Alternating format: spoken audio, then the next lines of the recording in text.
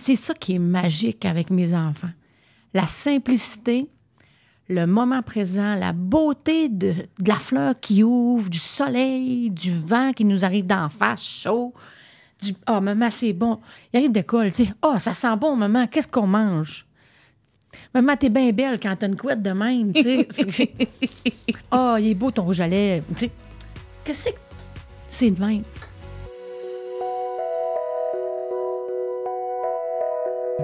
Bonjour, aujourd'hui on rencontre euh, une femme que ça fait pas si longtemps que je connais, mais c'est bizarre parce que j'ai l'impression que je la connais depuis longtemps. J'ai beaucoup to- d'atomes crochés avec elle, mais ce qui fait que je l'aime autant, c'est c'est une femme inspirante, mais d'une générosité hors du commun. J'ai comme l'impression qu'elle a un peu de Mère Teresa entre elles, puis je, je le dis pour vrai, avec l'image qu'on a de cette femme-là qui a voué sa vie, entre autres, aux enfants. Alors, euh, je vous présente celle que vous connaissez déjà, Jannick Fournier. Bienvenue, Jannick. Allô, merci beaucoup. Merci. Mais tu as quelque chose de cet ordre-là. Tu as, comme une vocation, on dirait. euh, Oui, appelons ça une vocation, je pense. C'est un appel que j'ai toujours eu à l'intérieur de moi, même étant toute petite, étant sauveuse, étant la première d'une famille, étant. tu sais, Oui, j'ai toujours eu cet appel-là. Puis, est-ce que tu te sentais différente quand tu étais jeune? Déjà de vouloir aider les autres? Ben, je me sentais différente à la base parce que j'avais une sœur déficiente intellectuelle quand même sévère lourd, de qui je prenais beaucoup soin, puis que je protégeais je énormément, tu sais, puis euh, le regard des gens. J'ai su détecter rapidement le regard d'une personne qui regarde une personne handicapée qui se dit est-ce que la personne rit ou pas, là, de, de, de, de l'être qui était, à, qui était à mes côtés. Mais euh, oui, j'étais différente à cause de ça. Parce que moi, j'aimais déjà la différence. Toi, t'assumais ça, cette... Ah oui. Je veux dire, le regard des autres te dérangeait pas. En fait, tu remettais pas ça en question. Non. Mais j'étais plutôt du genre à sortir le bâton de hockey avec les petits gars dans le quartier chez nous puis dire Hey, arrête de rire de ma sœur. Tu sais? Parce que sinon, c'est ça qui va t'arriver. Parce qu'il y avait même des gars dans mon quartier en plus. On jouait au hockey ensemble, on faisait plein d'affaires. Mais tu sais, quand il hey, fallait qu'il arrive quelque chose. Oui, même, euh, je me souviens, là, vite, vite dans ma tête, je ferme mes yeux, j'avais une dizaine d'années. Puis j'étais dans un magasin avec ma sœur, puis euh, mes parents, puis il y a quelqu'un qui l'avait regardé mais dévisager ma petite sœur qui, qui, qui criait. C'était sa façon, elle, de parler. Puis, mon Dieu, je, je l'ai regardé, puis j'ai dit, hey, regarde ailleurs, tu sais, genre du haut de mes 10 ans. Hey, elle avait combien d'âge de différence avec toi, ta sœur? Euh, je dirais 5 ans, à peu près. OK, donc, tu n'étais pas grande. 10 ans, elle avait 5 ans. Puis Ouais. déjà, tu défendais, tu étais une justicière. Oui. Ah, Ouais, c'est ouais. beau. Est-ce que tu connais le jeu Ouvre ton jeu? Un petit peu, Un petit honnêtement, un petit peu. Tu as vu des extraits passer, des choses comme ça? J'ai été voir des petits bouts, puis là, je me suis fait, je me suis dit, vu que je venais de voir, va pas voir. Vis juste le moment quand tu vas arriver là. Mais merci de ta confiance. Alors, je t'explique qu'est-ce qui se passe. Il y a des cartes de différentes couleurs, comme Mhm. les trois ici, verte, jaune et rouge.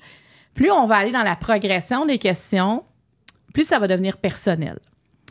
Dans ces questions-là ici, si tu décides de continuer, tu piges une question et tu réponds. Et tu as le droit de me poser la question que tu veux après.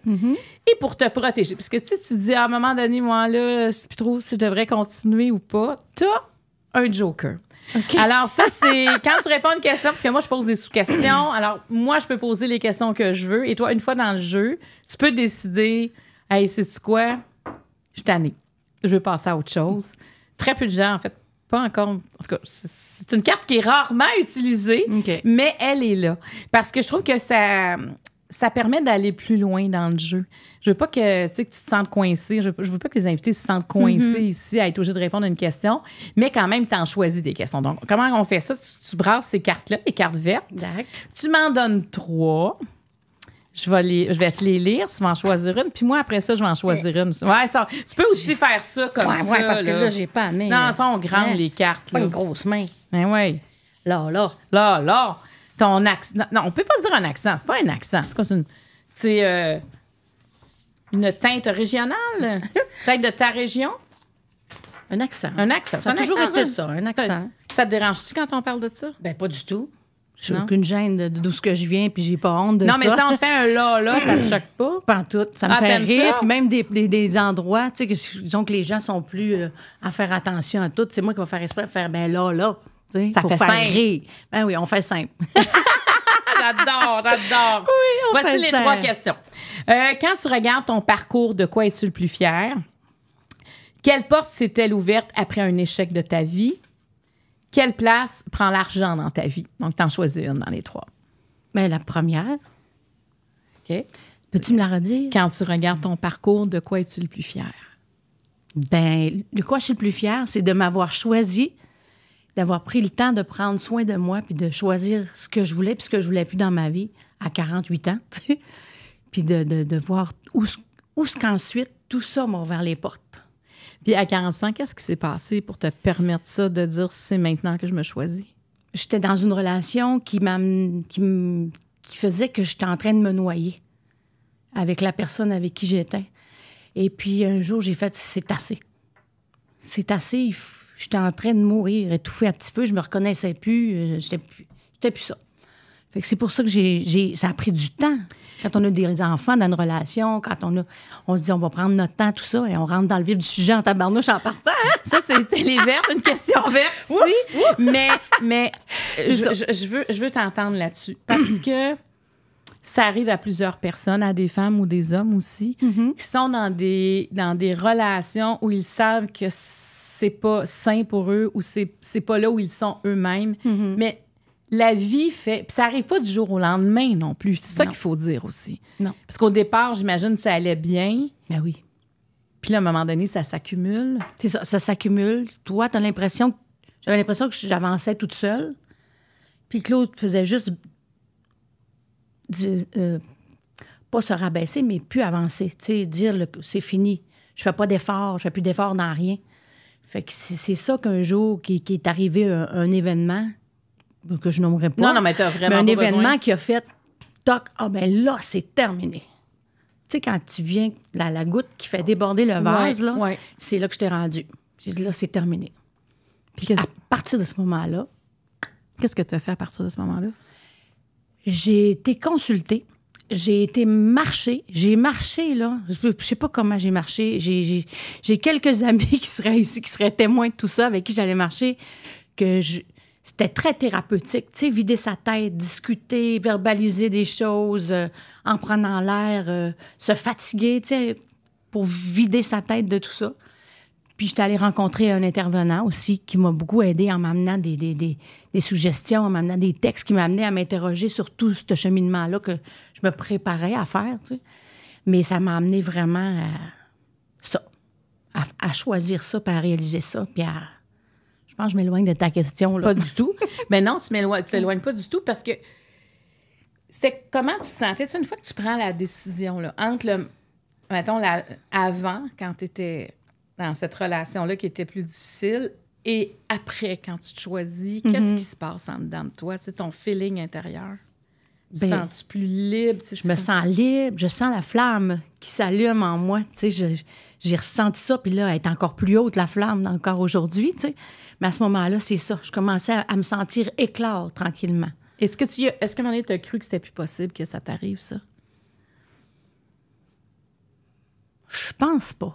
Ben oui, je pourrais dire, j'ai un certain moment dans cette période de, de relation-là que je me suis dit, bon, ben OK, j'ai fait ce choix-là, puis... euh, tu sais, des fois, on dit, on se marie, puis le meilleur est pour le pire. ou, Ouais, c'est- ouais. c'est- dramatique ce que je dis, mais tu sais, à un moment donné, tu penses ça, puis d'autres moments donné, tu dis, attends peu.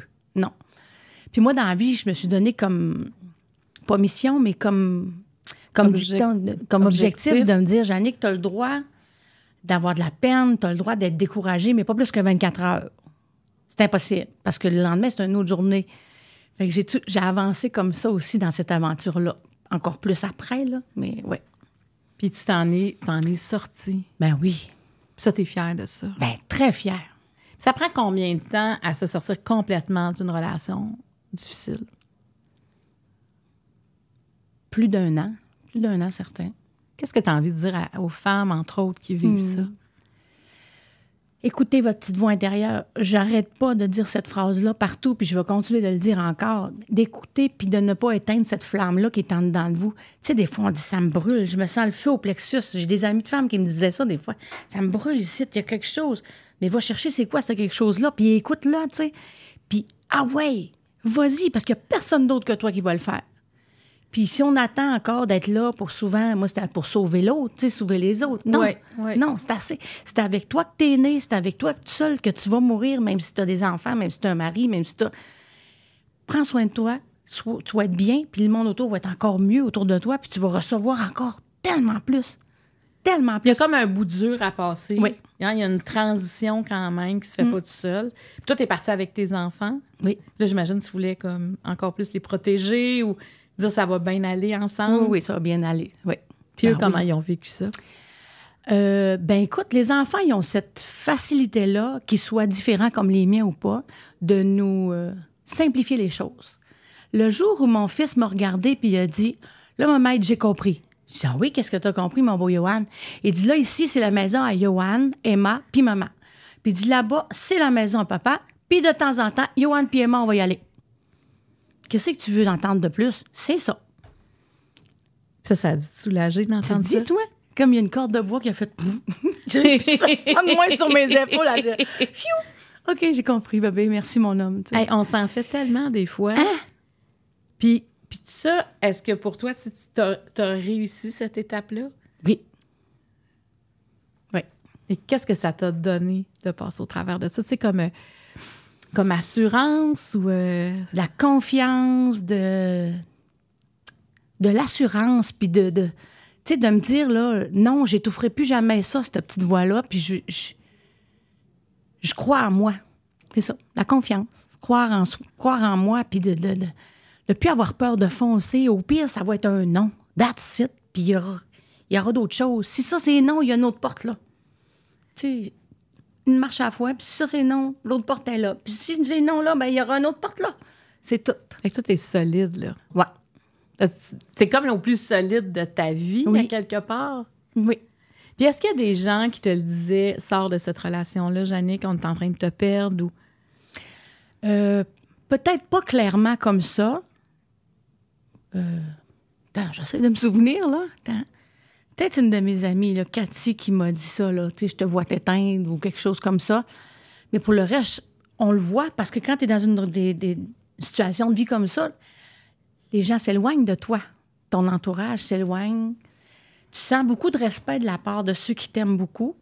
C'est ce que j'ai senti. Mais je les sentais marcher sur des œufs. Faire attention à quoi me dire, quoi pas me dire pour pas me blesser à travers tout ça. C'est ce que j'ai ressenti des autres. Fait que de ta. Ben, moi, parce que je pense que c'est important de sentir le support, de dire si je fais un. Parce que quand tu as décidé de, de, de quitter, tu avais du monde qui t'attendait finalement aussi. Ah oui. Tes amis étaient là, ta famille était là. Puis il y en est apparu d'autres qui étaient partis. tu sais, Ah, puis sont qui sont revenus, revenus. puis on dit, hey, tu sais, on trouvait ça difficile ou telle affaire, puis si tu as besoin, on est là. Puis il y avait. C'est ça, il s'est rapproché des Est-ce que tu penses que ces gens-là qui sont revenus, c'est pas pour les culpabiliser, mais c'est juste dire s'il y a des gens qui vivent ça, tu sais, est-ce que une fois qu'ils reviennent après, tu, tu dis il aurait dû rester? Non. Tu l'acceptes comme oh ça? oui, oui, oui. Ouais, puis c'est pas facile à vivre pour, euh, pour tout le monde. Ben ça. non. Quand tu vois quelqu'un que t'aimes. euh, Et là, bon, là, donc, c'est- de ça, tu es le plus fier dans Oui. ta vie, d'être t'es tenu debout? Oui. Puis de voir tout ce que ça m'apporte aujourd'hui, toutes les portes que ça m'a ouvert après, tout le bonheur que ça m'apporte, ça m'a apporté puis ça m'apporte encore aujourd'hui. Raconte-moi. Je vais toujours le, le- le- le- le- Ouais. être reconnaissante de, de- Parce que sans cette décision-là, à, à tes 48 ans, Mhm. la suite n'existe pas. Non. Donc là, tu décides, tu dis, OK, moi, je, me, je, me, je, me, je me choisis. Oui. Puis, mais tu t'es choisi à tous les niveaux, là. Oui. Tous les niveaux. Par quoi tu veux que je commence? Moi, je te suis. oui.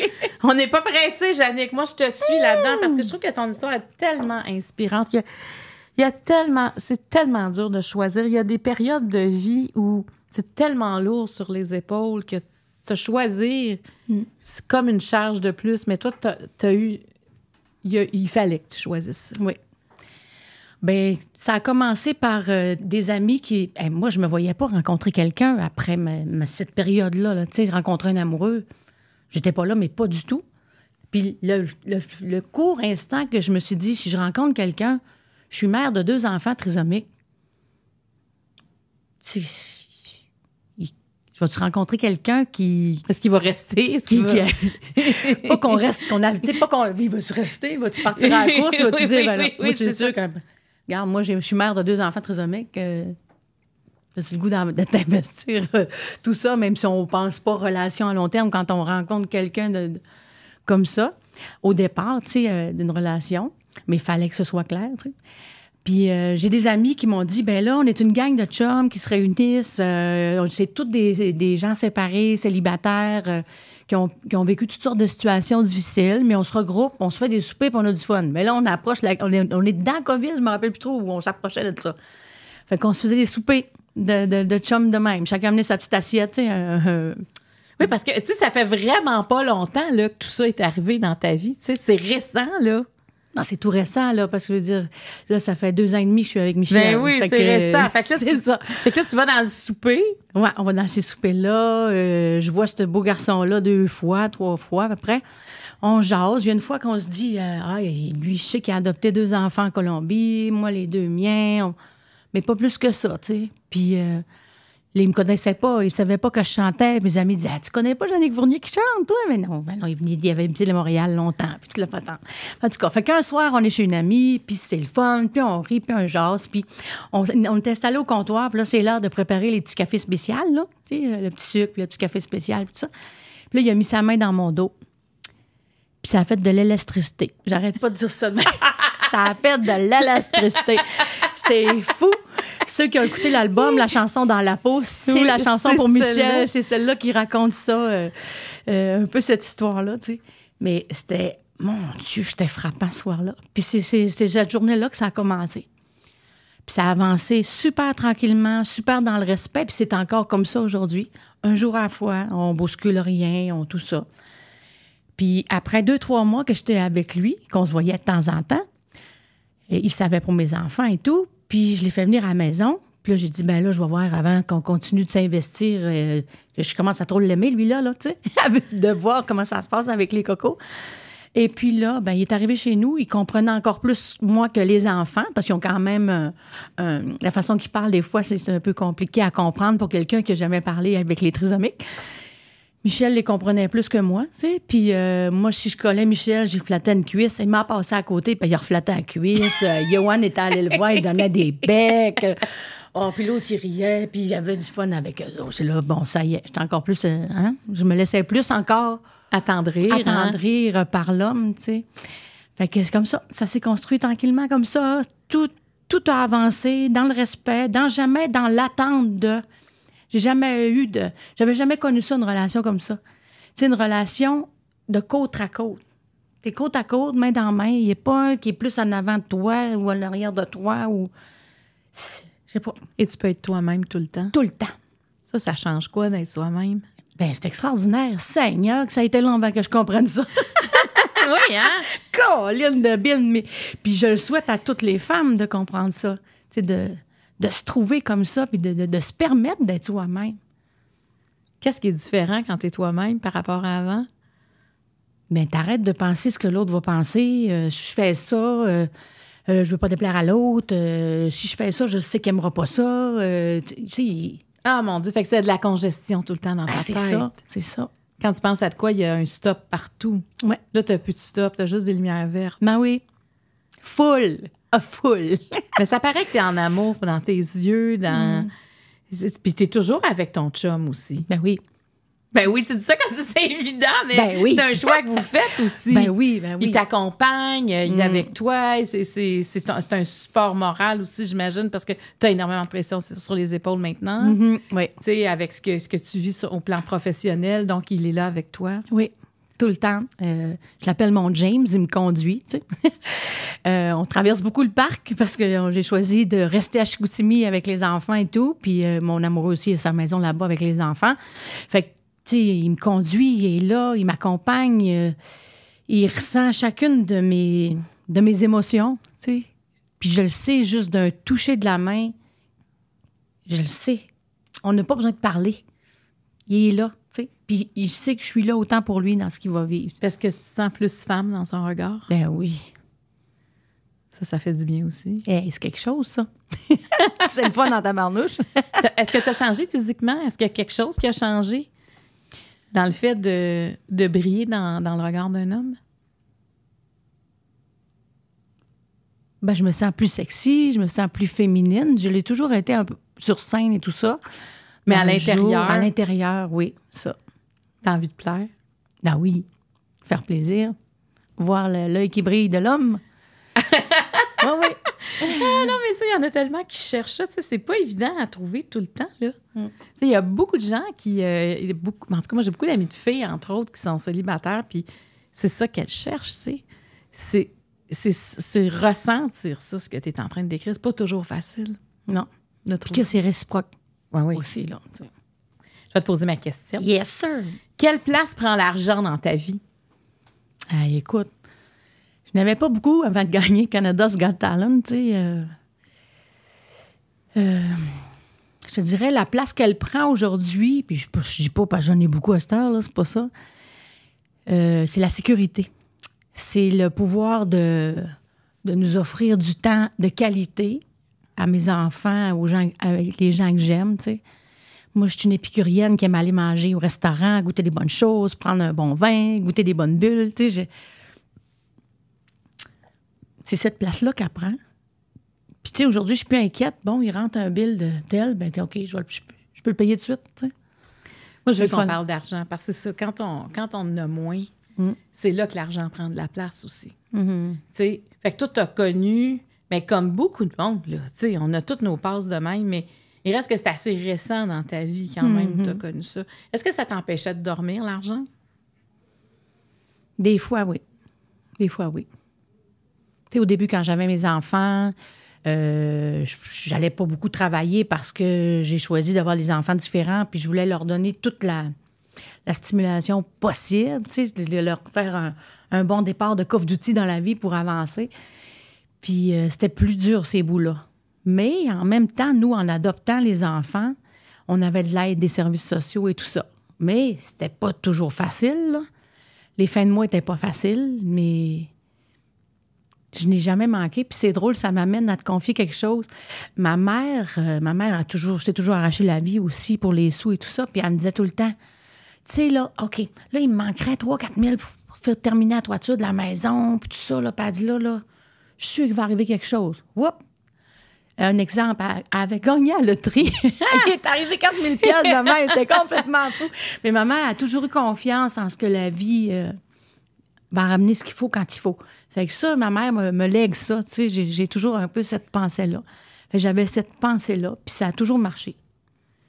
Puis, parce que, tu sais, la- l'argent, ça excite les gens. Puis quand tu as gagné, justement, à Canada Got Talent, les gens te parlaient tout le temps d'argent dans les entrevues. Ils disaient toujours le montant que tu as gagné, puis qu'est-ce que tu allais faire avec ça. Puis moi, honnêtement, ça me fatiguait qu'ils te demandent toujours avec le montant que tu avais gagné, parce que ça a l'air d'un gros montant, mais ça, tu peux pas arrêter tout dans ta vie puis dire on va vivre là-dessus Bye pendant, bye, boss. pendant 20 Oui, c'est ça. tu sais, c'est- c'est. Puis en même temps, tu sais, c'est un concours, fait que ça, ça prend un prix si tu veux que le monde s'inscrive, puis tu l'as gagné, donc ça vient avec. Mais, euh, mais tu sais, moi, c'était ça qui m'intéressait. C'était, tu sais, quand on vit puis on en a moins, il y, a- y en a que ça va empêcher de dormir, puis il y en a qui vont devenir, tu sais, tout le temps, je veux dire, puis il y en a qui vont devenir hyper créatifs aussi, qui vont dire, écoute, on, on va faire les choses autrement, on va s'arranger, puis j'ai comme l'impression que tu es là-dedans aussi, dans cette... euh, de prendre ça en main, puis dire, on va, on va y arriver, tu sais. Oui. Parce que, tu sais, on le sait, là, même quand on gagne notre vie correctement, euh, quand l'hiver arrive, on les habits d'hiver, les bottes, les cols, les cours, les- c'est énormément d'argent, là. Oui. Tu sais, avoir des enfants. Parce que, est-ce que toi, tu t'es sacrifié pour. euh, est-ce que tu as mis des choses de côté pour toi, pour tes enfants? À la suite du prix, tu veux Non, dire? pas à la Non, suite, non, quand t'en avais moins. Parce que, tu sais, comme mère, souvent, on fait ça aussi. On, Ben oui. on se met en trois, quatrième, tu sais. Bien, souvent, très souvent, que ce soit pour des soins, euh, tu sais, un, un facial ou ces choses-là, je commence tout juste à aller chez une esthéticienne, faire faire des ongles, euh, tu sais, ces choses-là, je m'offre ça maintenant. C'est des choses que je faisais pas avant, vraiment. Puis, euh, comment je te dirais ça? Ouais, c'est ça que je fais. Puis j'allais dans les friperies. Puis, euh, tu sais, la belle-sœur donne du stock, puis là, c'est l'autre le stock. Puis, tu sais, on, on s'organisait comme ça. Puis. Mais oui. Mais tu étais bien aussi. Ben oui. Puis là, ben, maintenant, tu gagnes ta vie en faisant ce que tu aimes le plus Oui, au oui. monde. Chanter. Mm. C'est que ta relation avec l'argent, elle est saine. Oui. T'as t'as pas de dette, là, tu payes tes comptes? Je paye mes comptes. J'ai même serré des sous, toi. Je l'ai même serré. Je capote. J'ai un petit coussin, là. Puis je dis, mon Dieu, que je suis contente de ça. Et Hey, je ça, un petit, le- tu sais, un petit coussin, là, ça permet de respirer. Tellement. Parce que c'est dur. Tu sais, quand moi, je- j'entends, tu sais, souvent les, les, les- les gens, les fiscalistes, ou en tout cas ceux, les spécialistes en finance, dire aux gens, moi, je fais plein d'émissions sur l'argent, ça prend son petit coussin, ça prend trois mois de salaire, ça... Hey, je me dis, tu sais, quand tu n'arrives pas à chaque semaine à tout payer, ton petit coussin et tes trois mois de salaire, c'est pas quelque chose de possible. Mais quand tu réussis à mettre un petit coussin, c'est vrai que c'est l'idéal, Oui. Ton petit coussin. Est-ce que tu es prête à passer au niveau jaune? Ben, let's go. Alors, tu, tu fais la même affaire, là. Tu brasses ça de même, là. Puis tu m'en donnes trois. C'est le fun, ton jeu. C'est le fun, mais on sait jamais où que ça va rebondir, tu comprends? Ben oui. Ah, là, tu sais, je te l'avais dit qu'on devenait un peu plus personnel. Tu vas comprendre. Comment fait-on le deuil d'une sœur? Quel type d'amoureuse es-tu? Puis à quel moment la musique t'a aidé? Caroline de Bin. Je sais pas lequel choisir. Hmm. J'ai le goût de t'amener au deuil de ma sœur. Mais là, je commence déjà à pleurer. Colique! Sans la boîte de Kleenex. Oh mon Dieu! Oui, parce que là, je suis en plein dedans. Encore? C'est arrivé quand? C'est quand est décédée, ta sœur? Ma sœur est décédée il y a six ans.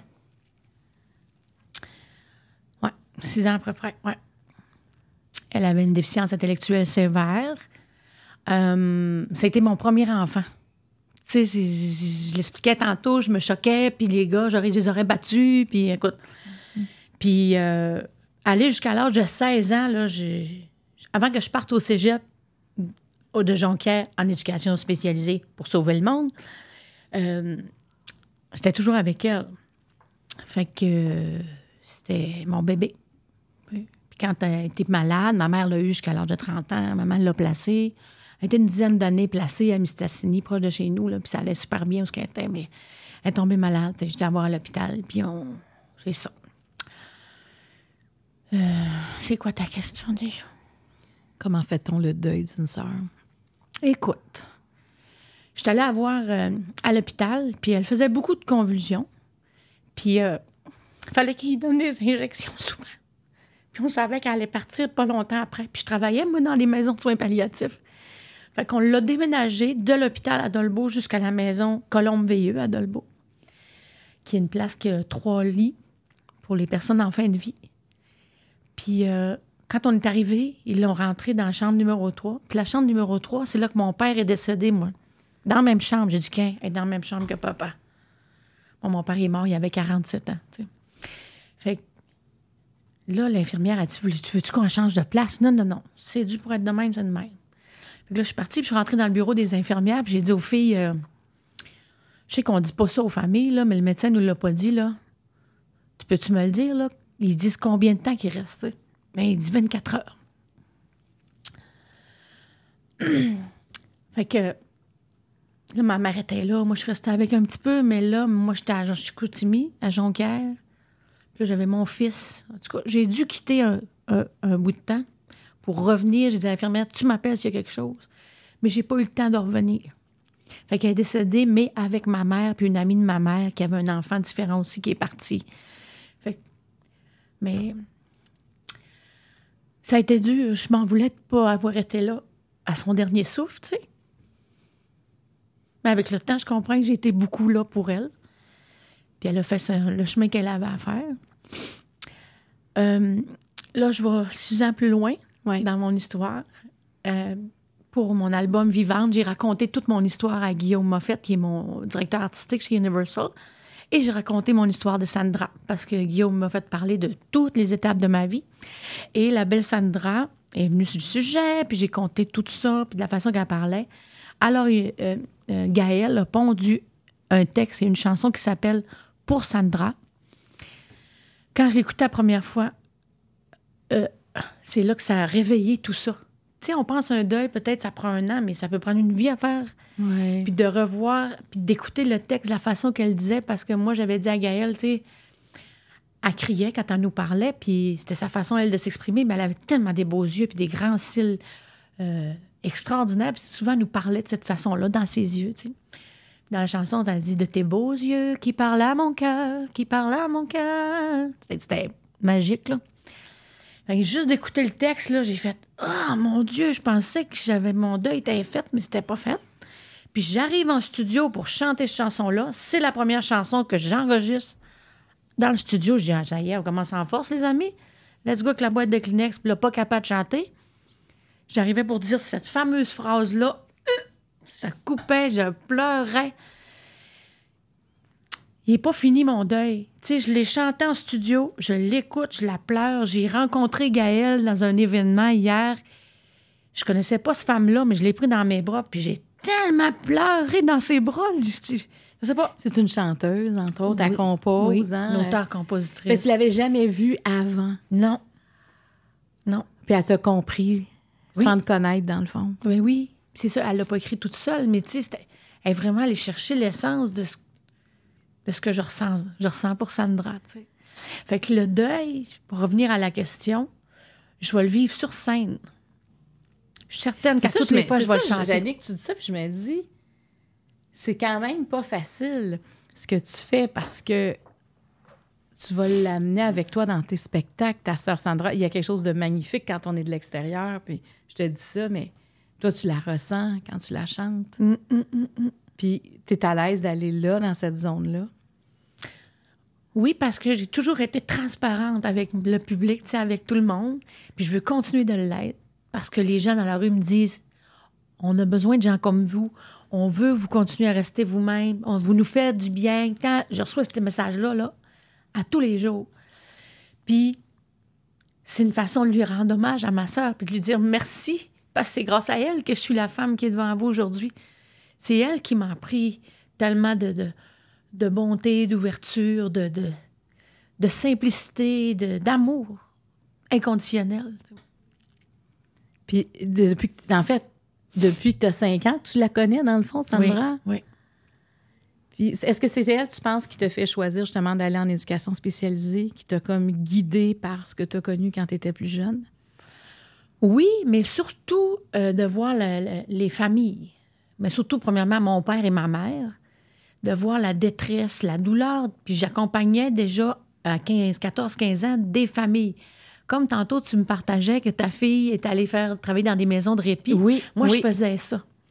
À Dolbeau Mistassini, je devais 14, 15 ans. J'avais commen- j'ai commencé là. On était, moi, il y avait ma famille, la famille à ma mère, ma soeur. Toi, tu as un enfant différent. Je, je te garde ton enfant une fin de semaine. On s'échangeait des, des- temps de répit comme ça pour commencer. Après ça, ils ont fait une maison à Dolbeau, la maison du groupe Espoir, qui existe encore aujourd'hui. Puis euh, j'allais travailler là. Puis euh, je, voyais les familles en détresse, des, couples en détresse, tu sais, d'accoucher d'un enfant différent, tu t'en attends pas. Euh, souvent, ça, brisait des familles. Des il n'y avait pas assez d'outils, il n'y avait pas assez de ça. C'est ça qui m'a là. Je voulais sauver le monde. Mais dans ta famille, ton père, ta mère, là, comment ça, Ça- se passait avec ta sœur? Ça allait quand même bien. Euh, je suis pas consciente de tout, tout, tout au début, mais après, c'est venu difficile. Euh, ça les a amenés à se séparer, comme je connais certains couples qui ça les a amenés à se Oui. séparer ou à se remettre en question. Ou à... C'est un gros choc aussi, de Ah oui. ses parents se séparer. Ouais. Et toi, ça t'a permis. Et à ce moment-là, tu as encore pris plus soin de ta sœur, j'imagine? Ben oui. La sauveuse protectrice, euh, je voulais pas qu'elle sente ça, cette peine-là, puis d'accompagner ma mère dans sa douleur aussi, d'être là pour. Qui était là pour toi? La question qui tue. il y avait comme la, la lumière.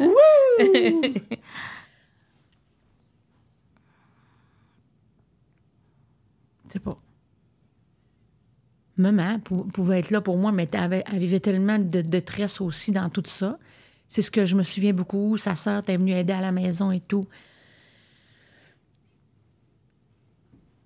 Ma marraine, Lise, que tu as rencontré, mon mentor. Qui est, Oui, euh, qui est bon. venu à l'émission Marie-Claude. Oui. En surprise. Oui. C'est mon parrain réel qui est plus de ce monde aussi. Je savais qu'il était hyper loin, mais je savais qu'il était là. C'est là que m'amène ta question. ben, c'est, ce qui, c'est ce qui monte dans mon cœur. De savoir qu'il y a des gens qui étaient là, c'est quand même rassurant, même s'ils ne sont pas là physiquement, parce qu'ils habitaient plus loin, mais il tu savais qu'ils étaient là. Oui. Donc, c'est pas. euh, on voit que tu es vraiment. Tu Mère Thérèse- Mère Teresa, mais on voit que tu as pris beaucoup plus soin des autres qu'on a pris soin de toi. C'est un peu l'histoire de ta vie. Ben oui, je pense oui. Est-ce qu'à un moment donné, tu aurais eu, t'aurais eu besoin qu'on te supporte davantage? Peut-être au début du jeune adulte, là, plus. euh, ouais. Ouais. Est-ce que tu es genre à prendre le téléphone puis appeler tes amis et dire Bon, là, j'ai besoin de.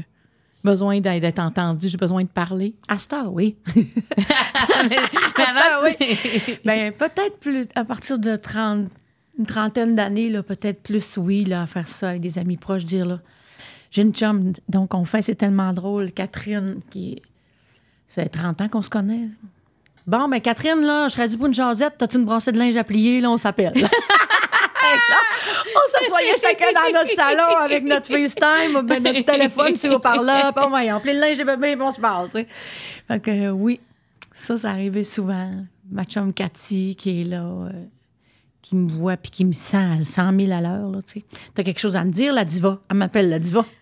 Ah, t'as toujours appelé le même ou juste depuis que tu as gagné? Elle m'a toujours appelé comme ça. OK, t'as toujours été une diva, dans le fond. Ben, j'ai toujours, j'ai toujours chanté, moi, tu sais. Fait que, euh, tout dépendant comment on interprète le terme diva. Non, non, non, mais je comprends Mais, ce qu'elle veut dire. Ouais, quand c'est ça. Puis ma diva. Ah, t'as quelque chose à me dire, ma diva. Tu sais, oui. Fait que, oui, j'ai ces amis-là, puis encore plus aujourd'hui, puis... euh, Et ta mère, comment elle a vécu le départ de ta sœur? Parce que perdre son enfant, c'est quand même euh, contre nature. Oui, très difficile. Ben, c'est- ça. Perdre son enfant, c'est contre nature. C'est de perdre une partie de son corps. hein. Les- les- souvent, les parents vont dire ça. Puis je le comprends encore plus aujourd'hui, maintenant que je suis mère, tu sais. Puis en même temps, ben, c'est comme... J'aime pas ça dire ça, mais... Pas un soulagement, mais c'est quelque chose pareil, vieillir avec euh, nos enfants différents. Tu sais, je le vois aujourd'hui, je le sens. Euh, comment pas trop me projeter dans, dans, dans 40-50 ans, là. Ça me donne rien. Je vais organiser mes flûtes, mais tu Mais tu veux pas aller là. Je comprends, tu veux Non, pas aller non. là parce que c'est. c'est- Mm. Il y a comme quelque chose que tu contrôles plus quand tu repenses à ça, C'est quand ça. tu penses à, trop loin. Ouais. Mais en même temps, c'est. Elle, peut- elle se sent, je crois, peut-être plus libre. Mm-hmm. Je, je- je la comprends. Au bout. Au bout. Oui, parce que c'est sûr que ça prend. Était pas autonome, ta sœur? Non, non. Non, Elle c'est était ça. placée depuis une dizaine d'années quand même, Ouais, là. ouais. Mais tu sais, c'était notre toutoune, là. Mais même si elle est placée, elle est là. Ah oui. Tu sais, vous alliez la voir, tu sais, il y, avait... euh, Mm, mm. Et est-ce que est-ce que tu as su depuis que tu es petite, est-ce que tu sais depuis que tu es petite que tu veux être maman, toi? Ben oui. Moi, c'était clair. Moi, j'ai été mise à la terre pour faire des enfants, puis pour prendre soin des autres, puis donner de l'amour en masse. Ça, ça, tu me demandes cette question-là, c'est clair comme de l'eau de roche que je te réponds. Puis euh, non, je savais. Je savais que j'allais être une mère. Puis est-ce que c'était ton choix dès le départ d'avoir des enfants différents? Non. J'aurais voulu être. une- J'aurais voulu emporter des enfants, tu sais. Mais ça pas. Ça marchait pas. Ça marchait pas. Puis euh, quand j'ai vu ça, puis après maintes et maintes essais, puis euh, et tout, c'était clair que je connaissais l'association Emmanuel, qui veut dire l'amour qui sauve. Puis moi, j'étais en amour avec la trisomie 21. C'était clair que c'était ça que je voulais. J'avais connu euh, euh, mon, mon- mon- mon ancien beau-frère, si tu veux, le frère du, du père de mes enfants, qui a adopté cinq enfants différents.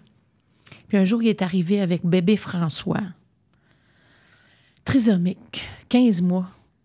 J'ai fondu. J'ai fait, est beau. J'aimerais ça d'en avoir un de même. ça n'a pas pris euh, 20 minutes. On a fait, OK, j'en- je me suis inscrite à l'association Emmanuel. C'est le même procédé, procédé que, que L'adoption, l'adoption, euh, Conventionnel, c'est ça. Et puis, euh, j'ai fait la demande pour par l'association. On peut demander si un enfant, euh, tu veux quoi, paraplégique? Euh, Tu as, le choix. T'as le choix. c'est weird, hein? Ben oui, c'est weird, dit comme ça, là. C'est ça. Fait moi, ben là, moi, je voudrais, s'il vous plaît, un bébé trisomique entre 0 et 6 mois, parce que je le sais qu'en 0 et 6 mois, c'est là que la cassette de vie se fait. Anti-rouille, six mois? Oui, c'était important qu'on va créer notre univers à nous ensemble. Puis euh, qu'il soit pas trop, euh, qu'il n'y ait pas trop de problèmes au cœur. Parce que les trisomiques Oui. ont des grosses malformations Oui. au cœur. Fait que j'ai envoyé cette demande-là. Ça a pris combien de temps avant que tu aies une Sept réponse? mois. Ah, quand même, c'est pas long parce que c'est enceinte sept mois. spécifique, là. Ouais. Euh, T'étais enceinte sept mois parce que c'est ces mois-là, comment tu les vis dans l'attente? Ben là, tu passes tout le processus psychologique, les évaluations, et tout et tout, là, tu sais, avant que ça arrive. Euh, ben, tu les vis, tabarnouche, que quand le téléphone sonne, tu fais Ça se peut, tu sais ça? Tu sais, dans l'attente. J'avais rarement été dans l'attente dans ma vie parce que c'est la chose que je déteste le plus au monde, être dans l'attente pour. Je veux pas être déçue, tu sais. Mais quand ça s'est arrivé, euh, le téléphone sonnait, tu fais Ah, le cœur t'arrête. Puis quand vous vous êtes rencontrés, toi puis euh, Johan et toi, comment ça s'est passé? Et Là, il y a quel âge à ce moment-là? Johan est tout petit, là. il y a trois mois. Les grosses billes brunes, là. Euh, il partait des services sociaux de Montréal et nous l'a emmené à Québec. Et là, en arrivant là-bas, il est dans son petit banc de bébé. C'était un 15 décembre, je vais m'en rappeler toute ma vie. Il fait tempête dehors, on part du Saguenay, on s'en va à Québec. Oui, il, aurait, il aurait fait une tornade, je serais partie le chercher pareil, tu sais. Mais cette petite affaire-là, aux grosses billes, puis il me regarde, puis il me sourit, puis il était pas gros, il pesait 9 livres. À trois mois, c'est petit, là. petit, ouais. Beau petit mignon. Fait que j'ai plus rien entendu. T'avais les gens de la- des services sociaux qui étaient là, qui nous lisaient des papiers, qui nous donnaient des informations. Moi, j'étais... Salut, mon fils. Ça y est, es-tu prêt d'embarquer dans mes bras parce qu'on part ensemble pour la vie? Puis j'ai dit, je peux-tu te prendre dans mes bras puis te donner un bec parce que moi, je suis bécoteuse. c'est ça que j'ai dit. Que je l'ai, j'ai je l'ai regardé pendant, je pense, 20 minutes de même, tu sais. Puis il me souriait, puis il avait des beaux yeux. Puis je l'ai détaché, je l'ai pris dans mes bras, puis j'ai donné un bec. Il a fait comme...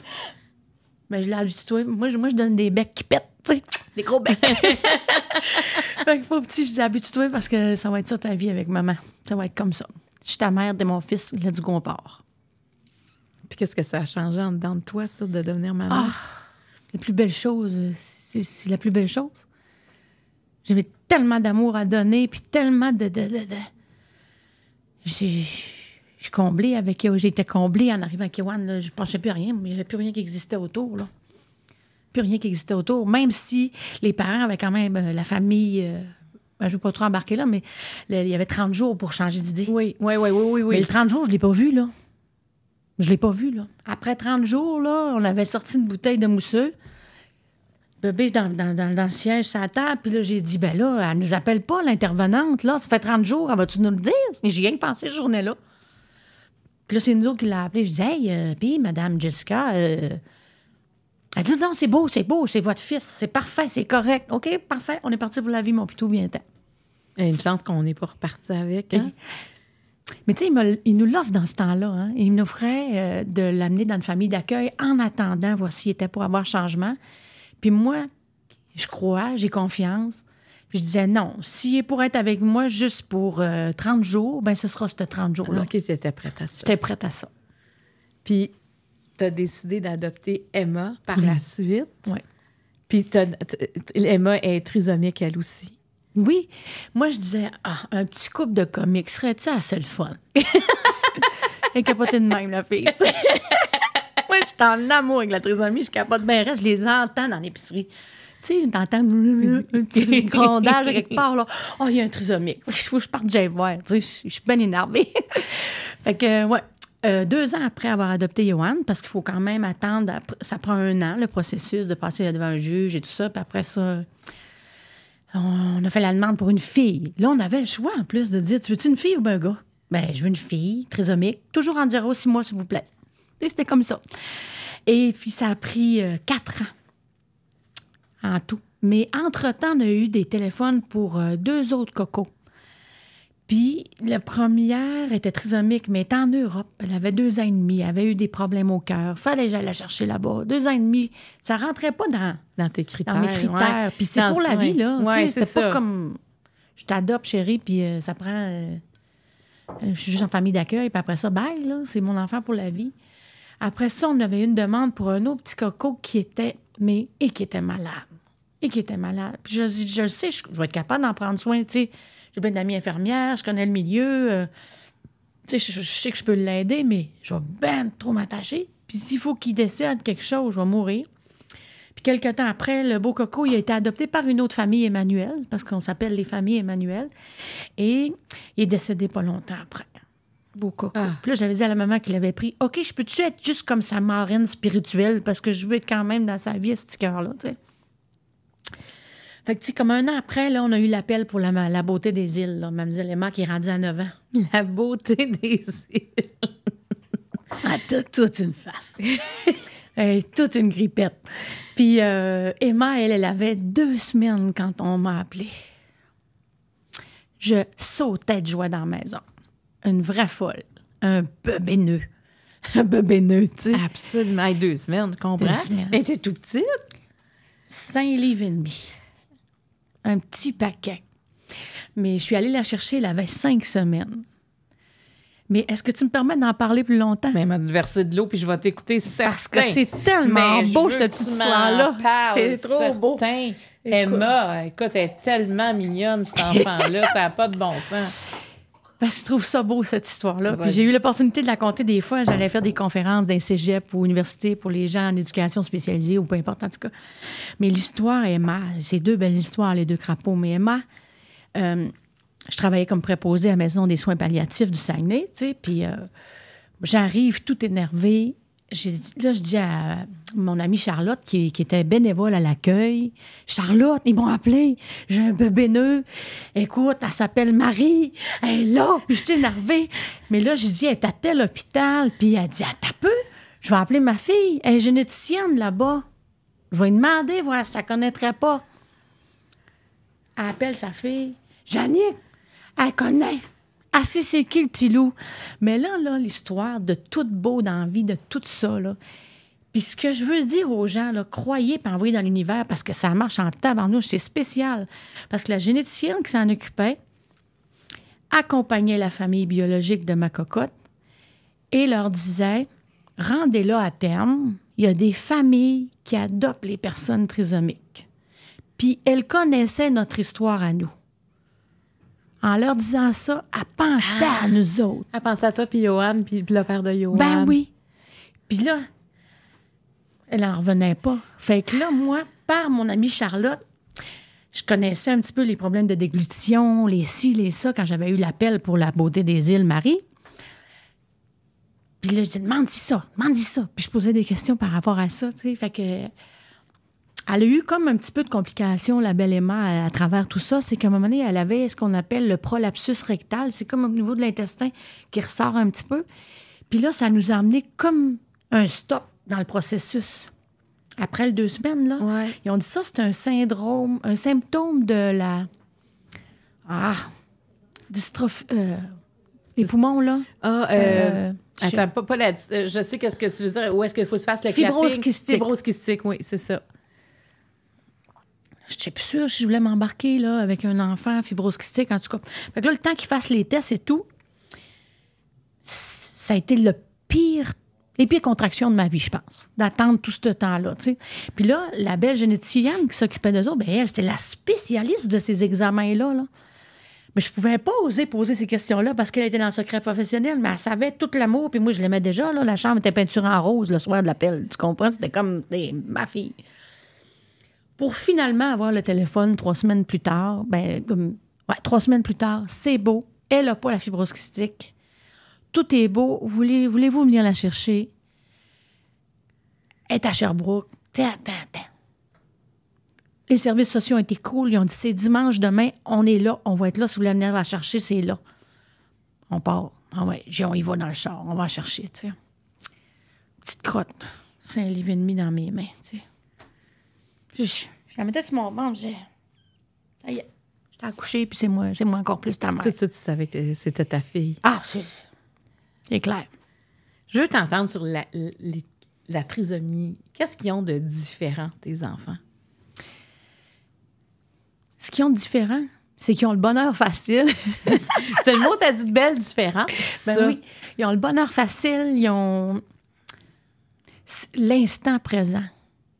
Tu sais, le moment là, là. Hey, moi, je me lève le matin, là. Moi, là, je me lève le matin. Coco, puis Coco, tu dis, maman, c'est la journée du bonheur. Puis là, Emma, elle répète derrière son frère, l'honneur. Oui, ben oui, c'est la journée du bonheur, les amours, tu sais. Mais c'est ça. Parce qu'elle est petite. Emma, là. Elle a, elle a quoi? Elle a 9 ans. 9 ans. Mais au niveau de l'élocution, c'est plus Ouais. difficile. Au niveau Ouais. de la trisomie et tout ça, on travaille fort, fort, fort en ortho. Mais c'est la journée du bonheur, maman. Puis, puis Yoann, le soir, il arrive, ben, c'est la soirée du bonheur. Tu sais, c'est... C'est toujours le bonheur. Ouais. Pas facile, mais ils ont ça. C'est ça qui est magique avec mes enfants. La simplicité, le moment présent, la beauté de, de la fleur qui ouvre, du soleil, du vent qui nous arrive d'en face, chaud. Du Ah, maman, c'est bon. Il arrive d'école, tu sais. Ah, ça sent bon, maman, qu'est-ce qu'on mange? Maman, t'es bien belle quand t'as une couette de même, tu sais. C'est- Ah, il est beau ton rouge à lèvres, tu sais. Qu'est-ce que c'est de même? Mais il y a l'autre côté qui demande extrêmement de vigilance, extrêmement de stimulation, de patience. Mon Dieu Seigneur, de la patience, tu sais, puis du, du, du temps, de l'énergie, euh, de la folie, je dirais. Ça me demande beaucoup de folie, de... de... C'est des boules d'amour, tu sais. C'est des boules d'amour. Quand tu dis il y a l'autre côté, qu'est-ce, que tu- est-ce- qu'est-ce qui est difficile de l'autre côté? Qu'est-ce qui te pèse le plus? Ben, c'est- c'est souvent répéter les mêmes choses. C'est de. mais De moins en moins en vieillissant, là. Tu sais, là, ils sont plus grands, ils sont plus autonomes et tout ça. Les plus petits, c'était de, de la vigilance. Exemple. Mon Johan, il adore les cellulaires, tout ce qui était décodeur, ordinateur. Si tu avais le malheur d'en oublier un quelque part, il vidait un verre de jus dedans. Ah. Ouais. Fait que Vidéotron, belle, euh, j'ai acheté quelques décodeurs. Est-ce qu'il vidait ça dans. dans... Fait que c'est- ça n'a aucune survie possible, là. non, non, non, non, surtout du jus. sais. Ben C'est oui. Des cellulaires dans la toilette. euh, juste pour. Là, tu dis c'est pour attirer l'attention, c'est pour ci, c'est pour ça. Là, tu revires tout d'abord avec les éducateurs, l'école. Tu essaies de comprendre pourquoi. Mais des fois, tu n'as pas de réponse. Fais juste prévenir, madame. Tu sais, préviens. Cacher un ordinateur, je me souviens, euh, on habitait juste tous les trois dans ma petite coopérative, là, puis j'étais allée m'acheter un nouvel ordinateur. Je l'avais caché. Mais Viande, il l'a trouvé. Je suis arrivée dans la maison. Il dit Oh non, maman, Johan, il a fait ça. Puis là, lui, il, se chicane seul. Tu sais, il se le dit. Puis il m'avertit, mais c'est trop tard. Il sait que c'est pas correct. Ben oui. Mais c'était. Est-ce, quelle attention que tu veux que je te donne de plus, chérie? Tu, sais, tu me dis, moi, là. là. Puis tu sais, Mané, t'es un parent comme un autre, là. Tu fais comme, hey, euh, ça bout, là. Tu sais, dire, t'as peu, là. Je suis bien fine, bien tolérante. Un moment donné, ça marche plus. peut-être des limites là. aussi, là. Ben oui, je suis un être humain. Mais ça, là, c'était dur. Le regard des autres sur tes enfants, est-ce que. Qu'est-ce que tu remarques de ce regard-là? Mais tu sais que ma sœur, j'ai beaucoup travaillé ma tolérance Ouais. avec ça. Ouais. Puis aujourd'hui, ce que j'ai appris, ce que j'ai observé, c'est que quand quelqu'un me regarde, ben avant de que je sois plus à la télévision ou ces choses-là, il me regardait avec pitié ou affaire comme ça. Moi, je les regarde toujours avec un beau sourire. Ils sont beaux, hein? Je dis ça aux gens, tu sais. Ils réagissent comme ça. comment, les gens? Ils font le saut. Sais, ils s'attendent pas à ça. c'est drôle, ça me fait penser à une anecdote. Moi, j'avais une poussette double. Mon Johan, il n'a pas marché avant cinq ans et demi. Oh, quand même! C'est ça a été long. Oui, oui, oui. Emma, trois ans et demi, tu sais. Fait que moi, j'étais dans la poussette avec les deux trisos, tu sais. Puis je marchais beaucoup dans ça. là. Ouais, la poussette, puis on y va. Puis là, le monde disait. Il y a une, une madame âgée qui était passée à un moment donné. J'étais avec une amie, dit Pauvre madame, pas un, deux. Moi, je- j'étais partie à rire. Ma chum de fille a dit Madame, elles adoptées, elles aiment de même, tu sais. Elle était fâchée, là. C'était très, très drôle. mais euh, mais c'est ça. Moi, je, je tourne toujours ça en disant Regarde, ils sont beaux, hein? Je fais un beau sourire en disant Que veux-tu dire de plus que ça? Bonne journée. Mettons, tu, tu dis ça à quelqu'un, qu'est-ce que tu veux qu'il dise? C'est la meilleure réponse, je Ben trouve, là. que ce que tu dis. C'est la meilleure réponse de. de- C'est-à-dire que t'es- ça insulte personne. Non. Ça met juste en lumière la beauté. C'est ça. La beauté de la vie. Mm. Puis eux, là, qu'est-ce qu'ils disent de ton succès? Les- mes enfants, Ouais. Parce que là, la Et- ma- maman a changé, là, quand même. là. Ah, maman chante, maman c'est beau ton disque. Oh, mais Yoann, là, la phrase qui me fait mourir encore, là. Je t'ai vu dans la radio, maman. Ça fait- T'étais tellement bonne, là. tu sais. Ah, c'est beau. Puis, tu sais, Yoann est venu à Canada's Got Talent. Il était sur scène. Il a vu tout ça. Et comme ça, comme figé. euh, Ils m'ont toujours vu chanter. Ils m'ont toujours suivi sur scène dans tous les spectacles que je faisais quand même avant. Mais là, c'est wow, maman, c'est vraiment beau. Mais là, c'est sûr qu'on s'ennuie beaucoup. Ouais, parce que là, t'es pas tout le temps là. là. Mais là, c'est ça. Puis là, quand il me sur FaceTime, euh, ben là, maman, je m'ennuie beaucoup de toi. Je comprends. Puis là, à la maison, j'ai fait un big calendrier que j'écris. Puis là, on compte. Puis là, j'explique là, maman part là, là, là. Elle revient là. Puis euh, tu vois, petit Emma, des fois, quand j'ai un petit Emma, il faut plus que je dise ça. Hein? Michel me dirait, Jannick, euh, c'est une grande fille maintenant.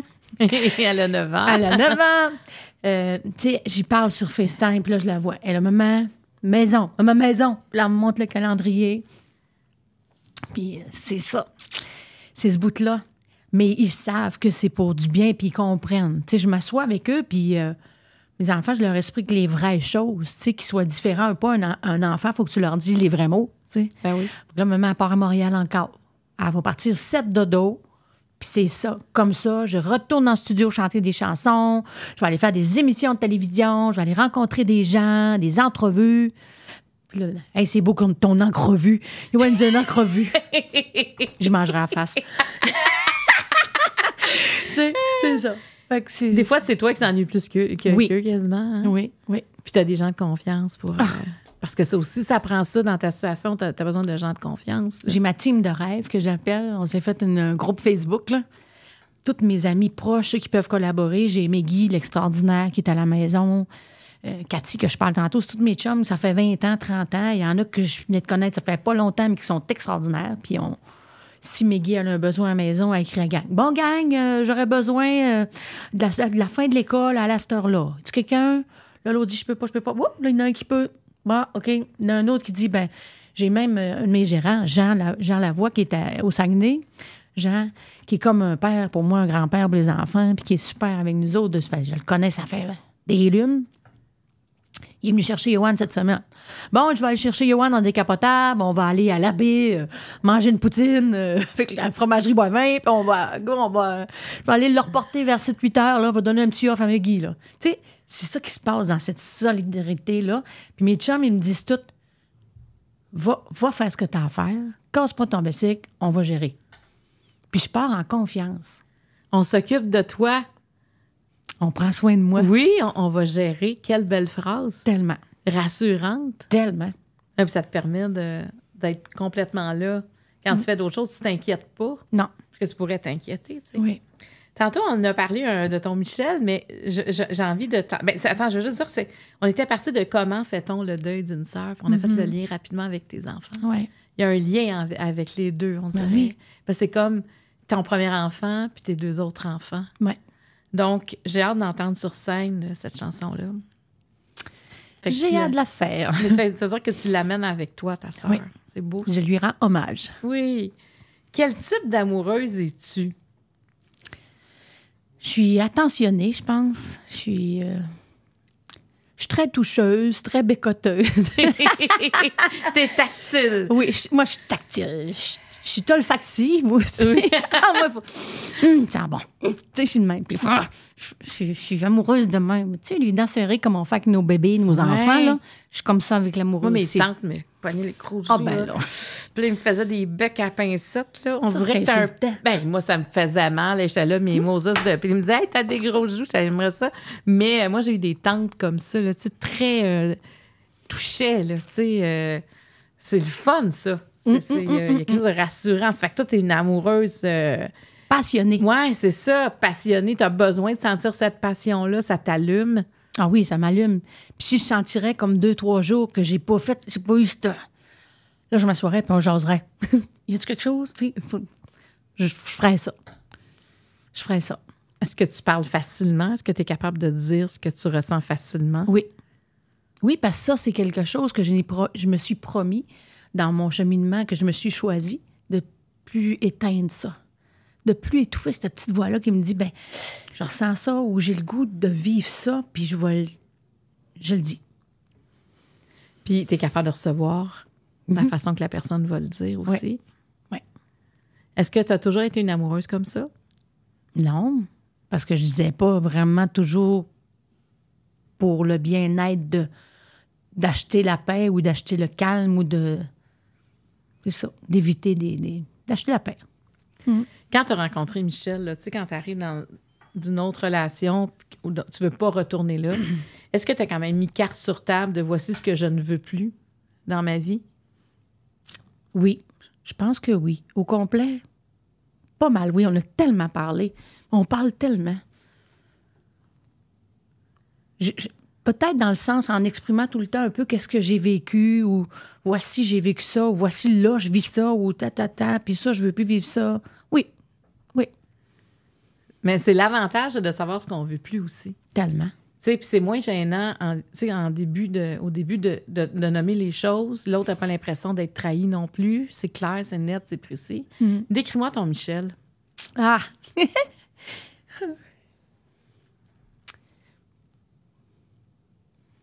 C'est un grand homme. C'est un grand. Moi, je le trouve sage, puis en même temps fou. Tu sais, c'est. c'est, euh, Je peux tellement faire de folie avec cet homme-là, comme en même temps, ça peut être tellement sérieux. Je peux tellement. euh, avoir. J'ai tellement confiance, puis je peux me confier sur tout, puis je- énormément de respect. Je peux. Je peux tout y dire. Puis même le début, je l'ai rencontré, je disais j'ai l'impression que je peux tout faire avec toi. Je peux tout vivre, puis j'y dis encore aujourd'hui, puis je me sens encore comme ça.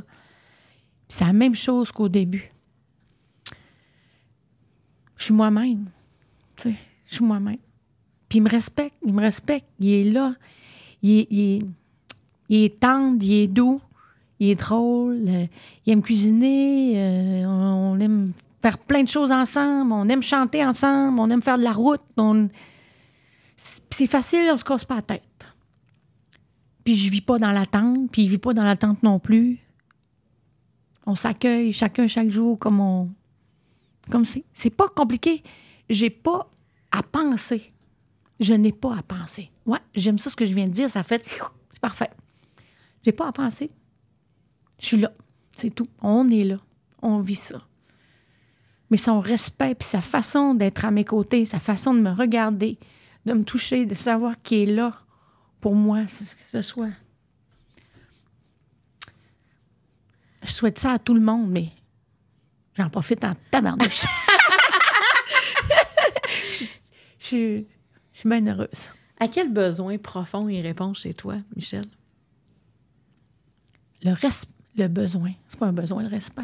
Mais ce besoin de respect-là que j'avais besoin dans ma vie. Toi, tu avais besoin d'être respecté. Oui, hein? d'être respectée, d'être écoutée puis d'être aimée comme je suis. C'est ça, d'être aimée comme je suis. C'est ça. Parce que- tu as douté de toi à un moment donné. Ben oui. Tu sais, tu te dis pourquoi j'accepte tel comportement ou telle attitude d'une personne ou quoi je me. Parce que c'est nous qui nous laissons infliger ces choses-là. Tu sais, je veux Mm-hmm. dire, ce que les autres parfois vont nous faire, que ce soit un conjoint ou un ami ou peu importe, c'est nous qui acceptons de, de Ouais. vivre ça. tu sais. Ouais. J'en veux pas aux autres personnes. C'est moi qui acceptais ça. tu sais. Mais c'est ça. Et c'est ça. C'est ça. Tout. libre avec Oui, lui. je suis libre. Je suis moi-même. Puis moi-même, M apostrophe A I M. E. Ah oui, c'est beau ça. Mm. Fait que tu apprends à t'aimer aussi. Oui. En l'aimant, tu apprends à t'aimer aussi. Mm. Tu es émotif quand tu dis ça. Oui. Ça fait du bien de s'aimer. Hé, tu dis, toi. C'est bon d'être soi-même, puis tu sais, d'être à l'écoute, puis de s'accepter, puis de se respecter, puis de. d'être à son écoute. Je souhaite ça à tout le monde. De sortir, puis d'être là, puis de, de vibrer son soi-même, tu sais. Oui, puis c'est pas toujours facile. Ben non. C'est pour ça que tu l'apprécies autant. Oui. Tu sais, tu t'es. Ah non, mais on a commencé en disant que tu t'étais choisi. Tu sais, ton album que, que tu as sorti Ah. euh, en mai dernier s'appelle Vivante. C'est un peu tout ça, hein? Ça dit beaucoup de choses, hein? Mais, hein? Es-tu prête à passer au niveau rouge? Ah, vas-y, vas-y, vas-y. tu me donnes deux cartes de Ah. ça. C'est ça, Puis euh, je vais te les lire, puis tu vas en choisir une. On va juste répondre à une question euh, des cartes rouges. Je vais respirer un peu. Ah oui, tu peux pas respirer. Euh, oui, mais je, te remercie, Jannick. Tu sais, on s'est connus, euh, on va prendre, avant de Ben poser oui, la question ben rouge, oui. on s'est connus euh, sur le plateau de Marie-Claude, où c'était le premier spécial qu'on a fait sur quelqu'un d'une heure. C'est sur toi. Ouais. Moi, tu m'intriguais beaucoup. J'avais hâte de te rencontrer parce que je te regardais sur la scène de Canada's Got Talent.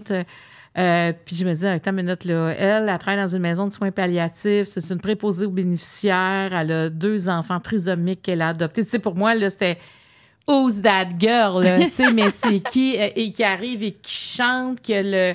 le comment ça s'appelait? Le, le gold. Le golden buzzer. Golden buzzer qui. qui les confettis qui tombent. Écoute, c'est, c'est, c'est la folie, là, tu sais, ce qui se passe. Et tu gagnes finalement le, le concours à travers le Canada.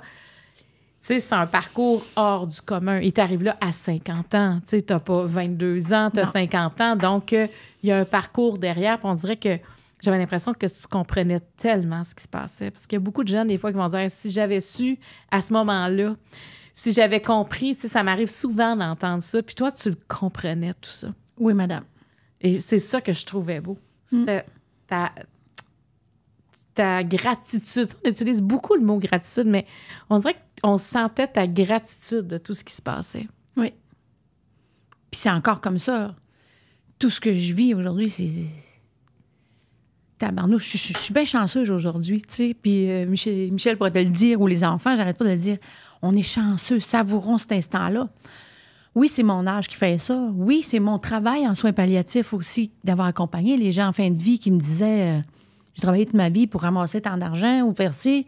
Ben, j'ai pas vécu. euh, tu meurs pas avec tes affaires, tu meurs avec tes souvenirs. ils m'ont tellement laissé de belles choses. Mes enfants m'aident encore plus à, garder les deux pieds à la terre puis voir ça comme ça.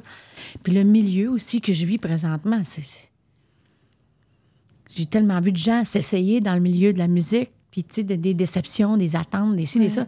Puis de juste faire, hey, je suis tellement chanceuse de ce que je vis, là. Puis je le dis à tous les jours, je le dis à tout le monde de mon équipe.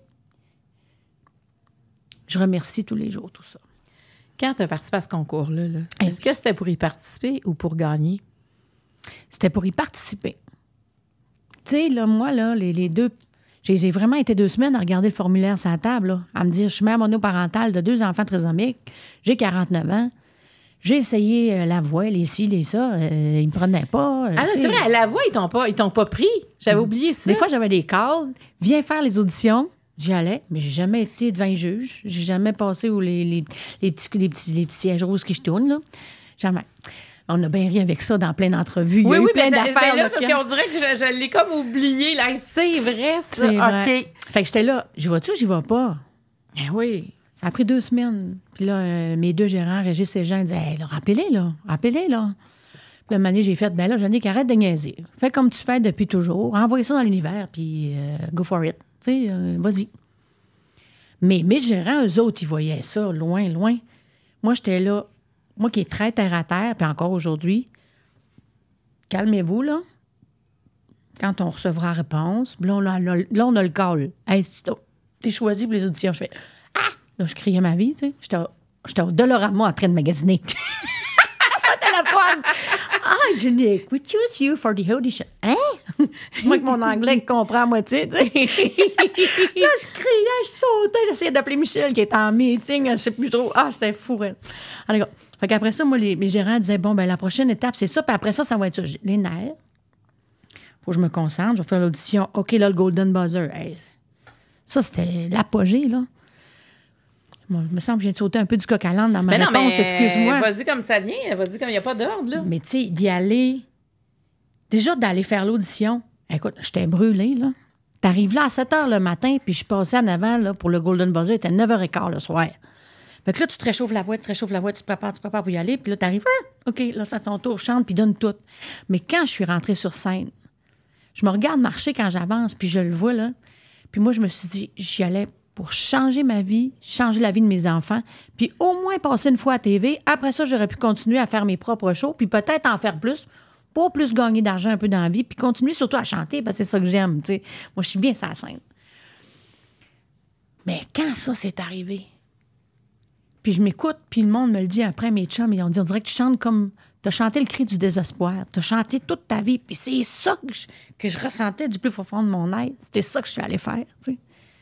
Fait que quand le Golden Buzzer est arrivé, je vois encore la photo que je saute de main, les pattes en l'air. Puis tout, ça a Mais peut-être que si t'avais passé la première le matin, t'aurais pas eu cette énergie-là.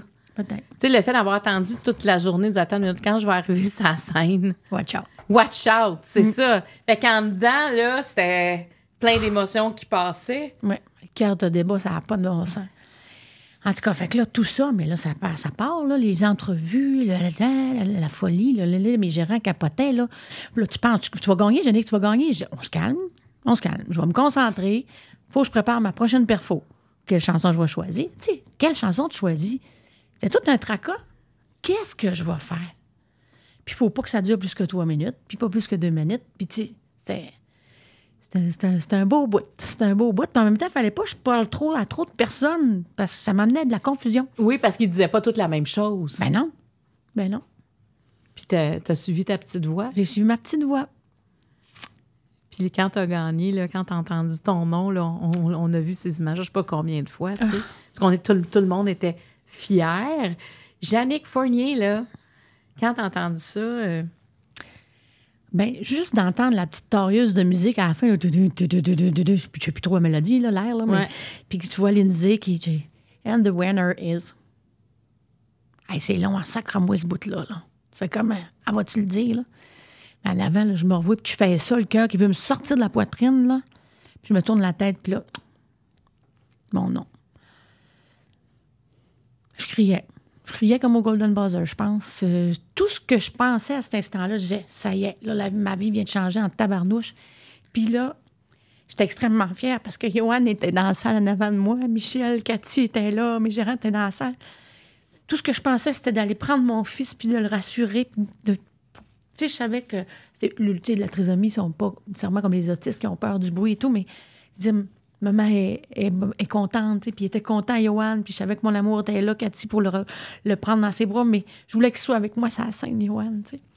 Puis euh, là, il m'avait fait préparer un petit mot pour dire merci aux gens, là, tu sais. Tu sais, que je dis les bonnes affaires en anglais, puis t'as juste 30 secondes pour le dire, fille, euh, fais ça vite. Puis là, je commence, merci aux gens du Saguenay-Lac-Saint-Jean, du Québec, du Canada. Puis là, thanks. Je leur vois la vidéo parce que mon fils l'écoute tous les jours. J'ai comme, ah, c'était capoté ce moment-là.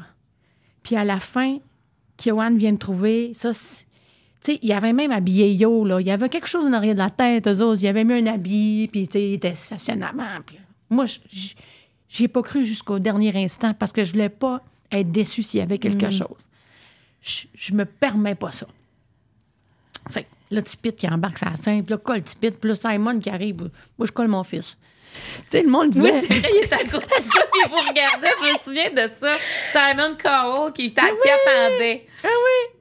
Ah oui. Tu sais, le monde disait, toi, on dirait que les autres autour, euh, non, c'est mon fils. Puis tout ce que je pensais, c'était de faire, euh, en tout cas, je sais pas si les gens le voient ou quoi, mais Emma et nous, on avait on a un petit signe qu'on se cogne la main comme ça, puis on fait psh.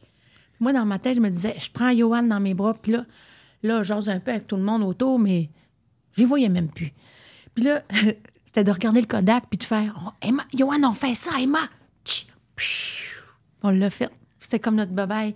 C'est comme dans mon cœur, puis j'avais pas Emma aussi, tu sais, de faire ce coucou-là ensemble. Puis après ça, ben, ça a déboulé, là. Déboulé. Le lendemain, j'ai fait 50 entrevues. Hey boy. J'avais plus en de bouche. Puis T'en faisais en anglais, là. Ben c'est oui. quand même pas ta langue maternelle. Non. Ça fait que t'as appris rapidement. Oui, j'apprends encore. Je vais apprendre toute ma vie, Ouais, je mais, pense, mais ça, ça prenait du gars de faire ce que tu as fait, là. Un Vraiment. front de bœuf, moi, je te dirais. Oui, mais ça prenait un front de bœuf, puis on dirait que c'est tout, ton- tout ce que tu as fait dans ta vie, tu sais, que tu en avais besoin là. oui, Tu sais, ça t'a ça t'a poussé à faire ça, puis ça a changé ta vie. totalement. Puis le regard des autres, comment, quand t'es retourné chez vous, là, puis que. La fierté.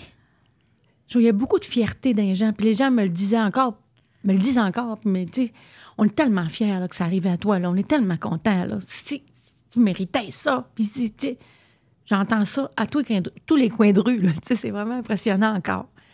Fait que les gens, euh, c'est ça, de la fierté dans le regard des gens. Ouais, ça, c'est important. Hum, hum, hum. Es-tu prête à ta question rouge? Vas-y. Quelle est ta part d'ombre? Ma peur, donc. Ta part, est-ce que tu as un côté plus sombre, un côté. Tabarnouche. Petite question comme ça. Ben oui, c'est tout petit, cette question-là. Ma peur, donc. T'es-tu angoissée? T'es-tu. euh, T'as-tu des moments plus difficiles? T'es-tu. euh, Hey, tu me fais chercher. Ben, t'en as peut-être pas. Ben, la seule chose qui me monte au cœur, c'est pas une pardon, c'était une inquiétude que j'avais, c'était de me dire faut que je signe des papiers pour mes enfants plus tard.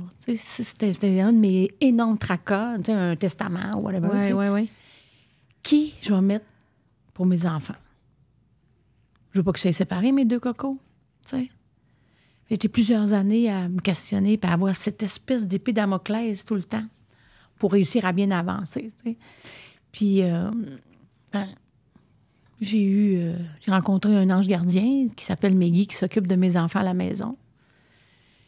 Puis un jour, comme tous les adolescents, jeunes adultes de ce monde, m'écrit par Messenger.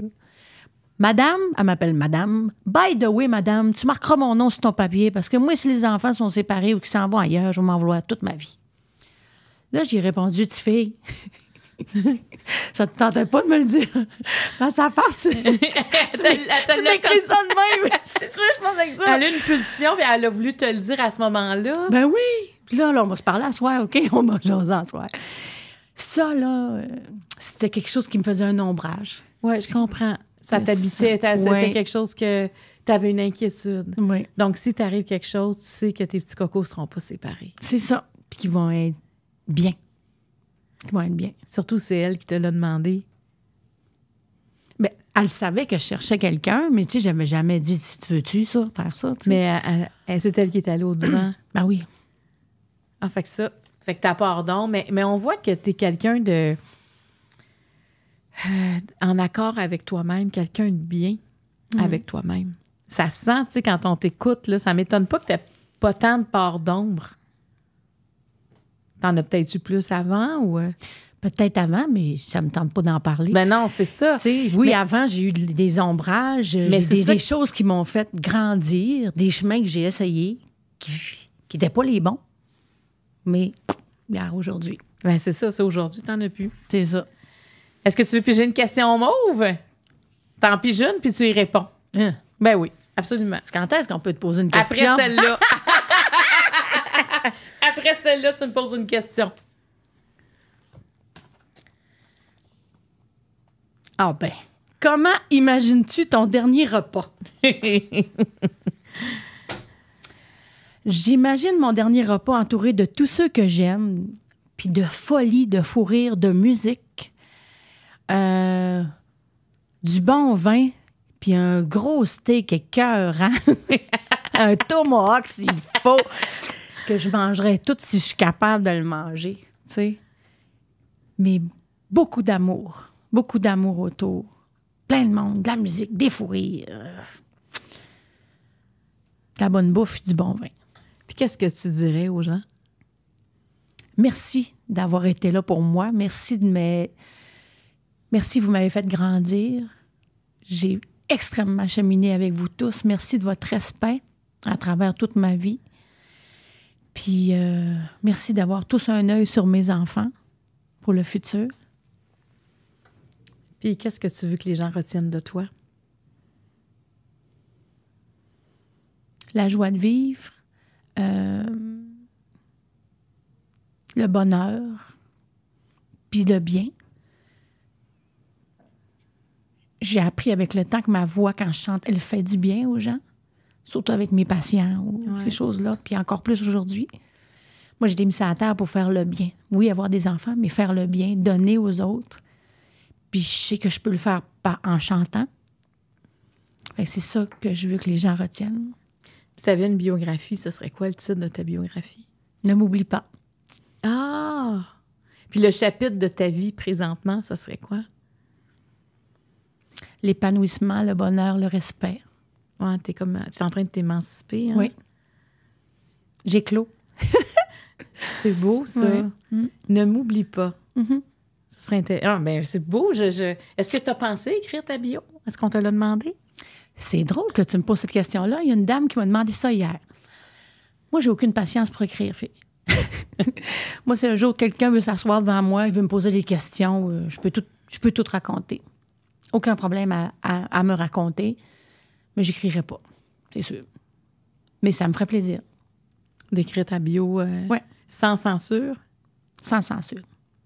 Oui, parce qu'on dirait qu'il y a des bouts que tu gardes. Oui, Et là, tu les, euh, tu les, tu les donnerais? oui. Parce que, tu sais, écrire, c'est un peu donner son histoire, partager son histoire, puis euh, les gens te lisent, puis après ça, euh, ça serait intéressant, en tout cas, de, Mm. de, de te lire, Mm. de lire euh, ton histoire. Mais pour l'instant, vous en avez, vous en avez beaucoup dans mes nouvelles chansons. Tu sais, il y a beaucoup de choses. En tout cas, c'est toute mon histoire dans- pour l'instant dans, dans- dans l'album Vivante. Qu'est-ce que ça fait de chanter, justement, pas des covers, des covers pour, pour les gens qui comprennent moins, mais c'est des chansons qui existent déjà, des, reprises, mais quand les chansons ont été pensées pour toi, écrites pour toi, et que tu les chantes, qu'est-ce que ça change dans ta façon d'interpréter? Ou... C'est une thérapie. Tu sais, tantôt, on parlait du deuil de ma sœur. Ouais. Oui, c'est un chemin de thérapie, mais tout le reste, chaque chanson me ramène dans l'histoire. C'est ça, dans ces parties-là, dans mon cœur, dans ma vie, dans mon, dans mon, dans mes souvenirs. Puis de les extérioriser, de les chanter, de les vivre, de les, de les closer aussi. Tu sais, certains, OK, on tourne la page, on close ça. C'est- thérapeutique. Puis de voir des gens, tu sais, qui, euh, le font pour toi. quelque- Tu sais, c'est... Tu sais, j'étais avec toi quand tu rencontré tes, euh, ceux qui ont écrit pour toi, tes compositeurs, puis tes... euh, comment comment on appelle ça? J'ai juste le mot... Les auteurs, Les compositeurs. auteurs, compositeurs, ça, j'ai rien que le mot en anglais. Euh, et de voir, tu sais, ils t'admirent sans te connaître. Mais parce qu'on a l'impression qu'on te connaît aussi, parce que tu Mm-hmm. racontes ta vie tellement bien, puis ta vie est tellement touchante que on ne peut que s'arrêter puis t'écouter quand tu parles. Alors de voir ces gens-là, Mm. ils sont jeunes. Ah oui, ils sont jeunes. Ça, ça me fait capoter. Parce que tu- tabarnouche, ils ont, ils ont su aller chercher l'essence de, de- du témoignage que j'ai fait. J'étais très transparente avec Guillaume. On s'entend, j'étais comme... C'était comme si on se parlait face à face, comme ça, en pensant... On était vraiment tout seuls tous les deux. J'ai tout dit en pleurant, en riant. J'ai tout compté comme ça. Fait qu'ils ont reçu ça, eux autres, comme de la tonne de briques, tu sais. Fait que de recevoir ça de leur part, c'est un immense cadeau de dire merci d'avoir été chercher cette sensibilité-là, d'être allé la raconter de cette façon-là, autant mes moments de folie, autant comme dans la peau pour Michel, que pour euh, euh, le 24 heures de folie. Il y a une chanson qui s'appelle 24 heures, tu sais. Ouais. C'est un cadeau. Je suis encore là, encore une fois, extrêmement reconnaissante. Puis c'est une thérapie. Puis je vais la vivre à tous les soirs sur scène parce que je vais toutes les chanter, les chansons de mon album sur scène. Attendez-vous à ça. Mais, mais ça, ça va être différent pour toi, j'imagine. Tu fais de la scène depuis tellement d'années, mais chanter ta vie Mm. devant les gens qui vont te voir, on peut imaginer le- l'échange que ça va donner, tu sais. J'ai bien hâte de le vivre. Bien hâte de le vivre. Ça va être très émouvant, puis en même temps, ça va être très drôle. Je, je le vois euh, positivement, en tout cas. Puis la rencontre avec ton public. Et que j'ai hâte. Et que j'ai hâte. J'avais super hâte du premier jour que j'allais arriver sur scène, tu sais, après la sortie du premier album, euh, Jannick Fournier, avec la chanson Ça ira, Ah, les gens oui. l'ont beaucoup aimé, tu sais. Puis là, d'être sur scène, puis de voir, ah, je chante les paroles. Tu sais, j'avais hâte de voir ça. Mais là, de voir la continuité de- avec cet album-là, je commence déjà à recevoir beaucoup par les réseaux sociaux de, de, de commentaires des gens, là, tu sais, qui se reconnaissent dans les histoires, mais de le vivre avec le public comme ça, Puis maintenant, ce qui est beau encore plus dans mon histoire, dans mon aventure, c'est qu'il y a plus de monde dans les salles. C'est comme, wow! Eh oui, là, tu vas te promener à travers le Québec avec la famille, tu vas aller à la rencontre des gens. Ouais. J'ai hâte, j'ai hâte. Super excitée de tout ça. Ton cœur de troubadour. Oui. As-tu une question pour moi? Ça peut être n'importe quoi. Ben, ça, ben. Moi, je trouvais que. Ben, ce que j'avais envie de te dire, c'était pas comme une question, mais je trouvais que. Je me demandais si toi. OK, j'allais ma question. Ouais, vas-y. Je me demandais si toi, par rapport à moi, oui, c'est mon histoire qui t'avait touché, ou si c'est parce que toi, tu étais passé par là, la trisomie aussi, Oui. un petit peu dans ton cheminement, parce que j'ai lu ton livre que tu m'as gentiment donné. Puis, euh, je me demandais si c'était ça qui t'avait attiré encore plus vers moi. Ben, tu sais, moi, quand j'ai eu un enfant, ben, je vais pleurer.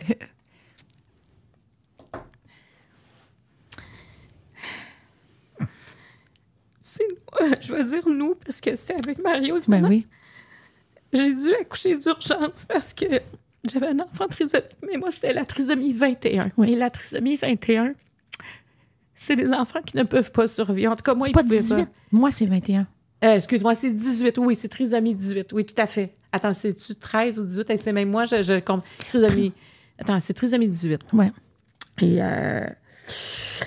Écoute, j'ai vraiment un mélange entre trisomie 13 trisomie. On va dire c'est trisomie pas grave, 18. là. C'est pas grave. En tout cas, c'est une trisomie que les bébés ne survivent pas habituellement. Ouais. Il, y a, il y a quelques exceptions, là, mais. Et moi, euh, tu sais, au début de la grossesse, là, Jannick, là, je- ma fille m'a sauté sur le ventre. Puis j'ai eu des grosses douleurs. Ils ont passé une échographie très tôt dans cette grossesse-là. Et ils m'ont dit euh, ben, vous êtes trompés dans vos dates. Hein? Le bébé, il, va bien, mais il est plus petit que ce que vous nous avez dit. Ça ne fit pas avec les dates. Puis j'étais, mais voyons donc, je suis sûre que je ne me suis pas trompée de date. de- Et, euh, mais c'est déjà, il y avait un problème, tu vois.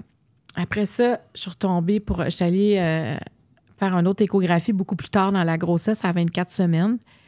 Puis là, ils ont dit, Hum, il y a vraiment un problème, on voit presque pas le bébé. Puis, euh, non, c'est pas vrai. La deuxième fois, ils ont dit, il y a un problème avec les chambres du cœur. Avec les- il y a quatre chambres dans le cœur. Les chambres cardiaques, il y en avait deux qui ne voyaient pas. Euh, ils m'ont renvoyé, deux, deux, deux semaines après, je repassais une échographie. Et là, ils ont dit, écoutez, on ne voit plus le bébé. Là, moi, je comprenais pas ce que ça voulait dire. Ça voulait dire qu'il produisait plus le liquide amniotique parce qu'à l'échographie, le noir et le blanc, c'est la réaction entre le liquide et, et le, et- et le bébé. Fait qu'il n'y avait plus de liquide autour, donc il n'y a plus d'image vraiment. Il m'a envoyé d'urgence à Saint-François d'Assise à Québec.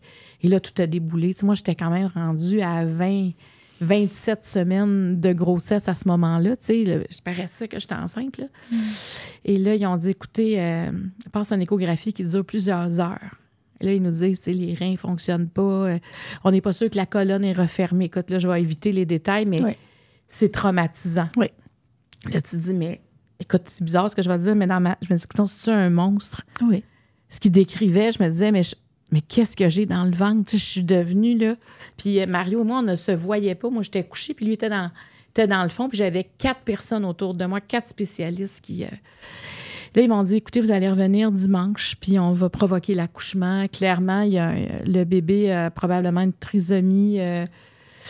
je suis trisomie 13. Écoute, je pense que c'est vraiment trisomie 13. Et finalement, quand je suis arrivée le dimanche, le médecin il dit, écoutez, Marie-Claude, j'aimerais mieux qu'on passe un amniosynthèse. Et tout, tout d'un coup, Et ça a été fin, ça? que c'est un paquet d'erreurs, puis qu'on fait un mauvais diagnostic, parce qu'il dit ce que je comprends, c'est même si votre enfant est différent, vous êtes prêt à le garder. Ben, Je dis complètement. On ne s'est jamais posé de question. Il dit si vous êtes prêt, c'est sûr que votre enfant est différent. Mais si vous êtes prêt à garder un enfant différent, on va aller plus loin dans la démarche pour être certain que cet enfant-là, s'il est viable, vous allez le garder. Oui, c'est sûr que nous, on, on va le garder. Alors, on a passé la myosynthèse. Ils m'ont appelé le 22 décembre pour dire écoutez, c'est vraiment un enfant qui a une trisomie. Et euh, avec, il, ne- il, il a pas, ses, Pas poumons, viable. ne- ses poumons ne se sont pas développés, puis il était rendu à, à 29 semaines quasiment à ce moment-là. Fait qu'ils ont dit si les poumons, le danger présentement, c'est que le bébé meurt intra-utérin, que ça vous empoisonne et qu'on vous perde les deux. Fait qu'il y a urgence là, de, de mettre fin à cette grossesse. Et moi, il bougeait, là, ce bébé-là, dans mon ventre. Tu sais, c'est... Et finalement, euh, j'ai accouché le 24 décembre. C'est- je l'écris dans le... C'est plus facile à Écrire. écrire, mais cet enfant-là ne devait pas être vivant. Parce que tu sais, quand tu accouches d'un enfant qui ne survivra pas, il ne protège pas la mère. C'est-à-dire que comme ils ne protègent pas le bébé, ils veulent accélérer le processus. Puis je vais te dire, moi, je perdais connaissance entre chaque contraction. C'était très difficile. Puis m'ont dit, de toute façon, il va, il va être décédé à la naissance. Puis ben, il, vit, il était vivant. Il a vécu quand même quelques minutes. Puis là, il ne comprenait pas parce qu'il n'y avait pas de poumon, mais il a vécu. Tellement qu'on a eu sa carte d'assurance maladie l'année suivante parce qu'il pesait plus de 500 grammes puis il était vivant à la naissance. Moi, je te dis, là, je vais à ma boîte à mal, je reçois Noël Dumont. Comme on avait acheté la maison des parents à Marouche, ça doit être un, de ses oncles, ça, Noël Dumont. Comment ça qu'on reçoit ça?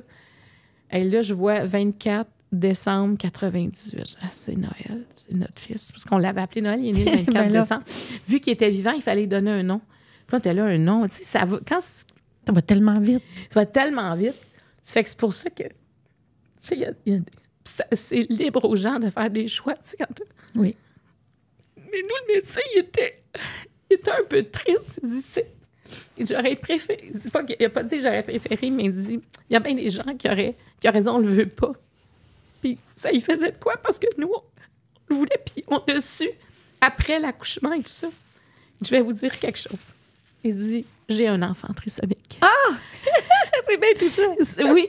Alors, euh, c'est pour ça que ça touchait autant que nous, la trisomie, ça ne nous faisait pas peur. Tu sais, si ça avait été la trisomie 21, écoute, on ne se serait jamais. Ça, c'est notre histoire à nous. Tu sais, il y en a d'autres que c'est pas ça qui ferait. Mais il dit Moi, j'ai un enfant trisomique. Puis il dit Tu sais, quand ma femme a accouché, j'étais là, puis je l'ai su dans la seconde. Il ne le savait pas avant. Je l'ai su dans la seconde, puis on, on l'a accepté tout de suite, tu sais. Fait que c'est ça. Mais c'est sûr que ça, il y a, y a, quelque chose. Parce que toi, tu as dit, moi, je vais en adopter un. Mm-hmm. Puis je pense qu'il y a des gens qui font le choix que c'est trop, c'est pas ce qu'ils veulent, et de le mettre en adoption. Qu'il y a des gens comme toi qui disent, ben moi, je lève la main, puis c'est une demande spéciale. c'est ça que dans ton histoire qui me fascine, c'est que pour toi, c'est une demande spéciale. C'est c'est ça que tu veux. Tu vas avoir les éditions spéciales. Un, enfant trisomique de, 3, de, de, de 0 à 6 mois. Je, trouve ça magnifique. Fait que, mm-hmm. ouais, tout ça, je pense qu'il y avait. Euh, il y avait un lien entre nous. Marie-Claude, je t'aime, Marie-Claude. Ben, J'espère qu'on va être amis longtemps. Ben aussi, je t'aime. Je souvent. fini comme non, on va une autre question pour toi, mais. Non. Mais tu es vraiment une grande dame. Puis tu sais, quand tu es venue à mon émission, je t'ai dit que tu étais une allumeuse de réverbère. oui. Et, tellement accroché sur ça. Ben, c'est parce que j'ai comme l'impression que quand tu passes, tu allumes des lumières dans le cœur des gens, tu continues ta route, mais ces lumières-là restent allumées. Hmm. Et c'est comme si le fait que tu aies gagné ce concours-là, puis c'est comme si là, tout d'un coup, le chemin en avant s'est éclairé dans ta vie. Puis j'ai là, après t'avoir écouté tantôt, je me disais, dans le fond, ce chemin-là s'est éclairé quand tu t'es choisi. Oui. La lumière est arrivée en avant de toi, puis tu l'as toute pris, la lumière. Mm-hmm. Fait que bravo d'avoir fait ça, Jannick. C'est vraiment pour les femmes, là, ce que tu fais, je, je te le dis tout le temps, tu parles aux femmes beaucoup. Tu parles à tout le monde, mais je suis sûre que chez des femmes, ton histoire résonne. Parce qu'il y, a beaucoup de femmes. Tu sais, moi, j'ai tellement eu de témoignages. Il y en a beaucoup, des fois, avec la charge mentale, ils font ne se choisissent pas, choisissent la, famille, choisissent un paquet d'affaires. Puis, se choisir, c'est important. Mm. Parce que les choses arrivent aussi quand tu choisis. Oui. Alors, pour ne pas tout le temps finir en larmes, cette, euh, ce podcast, euh, parce que ça m'arrive à moi, là, mais cette question-là, mais surtout venant de toi, ah. c'est autre chose, là, tu sais. Euh, on finit avec quelque chose de plus lumineux, ou en fait de moi, et puis c'est pas que c'est pas lumineux, on va peut-être pas pleurer sur celle-là. D'accord. La lampe d'Aladin existe. Quels sont tes trois vœux? Puis des fois, on pleure aussi là-dessus. OK. Mes trois vœux? Ouais. Voyons. Tabarnouche. Mes trois vœux, c'est que tous les gens que j'aime soient en santé, puis que je puisse les avoir longtemps autour de moi. Que la vie continue de me, de me guider et de m'entourer des vraies personnes dans toute cette aventure-là que je vis. Oui, parce que tu peux. Il y a toutes sortes de monde qui peuvent t'approcher parce que je veux dire, tu as du succès, ça peut rapporter. Donc, quand on peut rapporter, il y a des. C'est pas toujours des bonnes personnes. Mm, mm, mm. Fait que tu veux ça que. Je veux ça. Puis je souhaite et je demande la santé, justement, pour, pour être toujours en forme, pour, pour vivre tout ce que je vis présentement. Puis de continuer de me respecter, de prendre un petit 24 heures off entre le boulot de ma chanteuse avant de revenir à la maison. pour être à 100% avec mes crapauds à la maison, tu sais. La santé pour tout ça. T'es vraiment une maman. hein? Ah ben oui. Ce serait un mot qui te définirait bien, toi. oui. Maman. Maman. En tout cas, ben bravo de t'avoir choisi. Moi, je lève mon verre d'eau à ça, Jannick. Merci Merci. d'avoir Oh, accepté merci. avec moi d'ouvrir ton jeu aujourd'hui. Et je vais dire aux gens à la prochaine et je vais aller sécher mes larmes. Merci d'avoir été là. Oh là là. Oh, merci.